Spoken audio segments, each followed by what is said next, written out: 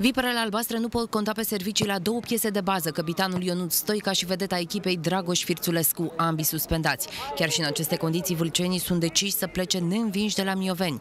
La meci va face deplasarea și o numeroasă galerie de la Vâlcea. Mergem la Mioveni să obținem cel puțin un punct sau toate cele trei puncte și suntem motivați pentru partea de asta.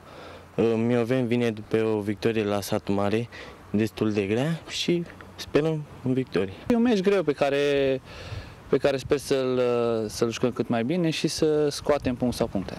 În sezonul trecut, CS Mioveni a reușit să se impună pe teren propriu în întâlnirea cu CSM Râmnicu Vâlcea 2 la 1, în timp ce meciul din Zăvoi s-a terminat la egalitate 0 la 0.